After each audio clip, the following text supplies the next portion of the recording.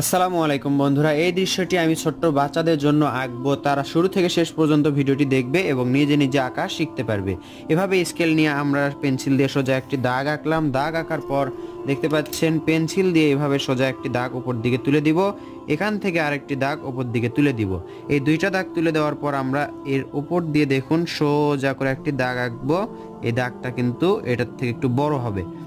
এখন আমরা কি করব? এভাবে বাঁকা করে উপর দিকে তুলে দিব। এখান থেকে বাঁকা করে উপর দিকে তুলে দিলেই সুন্দর একটি ঘরের শেপ হয়ে গেল। এভাবে আমরা একটি ঘর আঁকবো।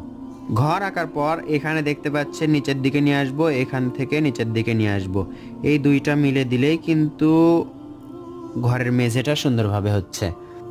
এখানে একটি আমরা দরজা আঁকবো। দরজাটা উপর দিকে এভাবে তুলে একটু গোল করে নিচের দিকে নিয়ে আসব। সুন্দর একটি কুড়ে ঘর হচ্ছে, ছোট্ট একটি ঘর। এভাবে একটি জানালা আঁকবো, এই পাশে আরেকটি ঠিক একই রকম করেই জানালা আঁকবো। দুইটাই কিন্তু সহজ। এখান থেকে আমরা একটি ভি আঁকবো, এখান থেকে একটি ভি আঁকবো, ইংরেজি অক্ষর ভি এখান থেকে নিচের দিকে নিয়ে আসব, এখান থেকে নিচের দিকে নিয়ে আসব। একটি গাছের শেপ হয়ে গেল, ঠিক একই রকম করে এই পাশেও দুইটা দাগ আঁকবো।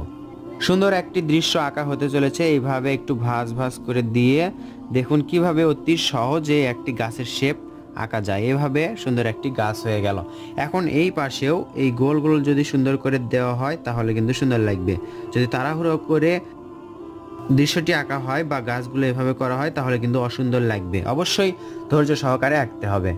এখন আমরা বাড়ির পিছনে এবং গাছপালার পিছনে একটি ঝোপঝাড়গুলো দেখা যাচ্ছে, সেগুলো আঁকবো। এগুলো কিন্তু সহজে আঁকা যায়, এইভাবে পেন্সিল দিয়ে করলেই হবে।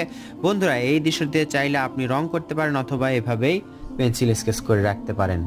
তবে এভাবে আঁকার পর রং করা অনেক ভালো। বাচ্চারা নিজের ইচ্ছা মতো রং করবে, কোথায় কি রং হবে একবার বলে দিলেই তারা সহজেই রং করতে পারবে। এভাবে দুইটা দাগ এদিকে নিয়ে আসলে দেখুন, এই বাড়ি থেকে সুন্দর একটি রাস্তা হয়ে গেল। এখন মাটি থেকে আমরা এইভাবে সুন্দর করে এইভাবে ঘাস আঁকছি। দেখুন, এই ঘাসটি আঁকতে সহজেই আঁকা যায়।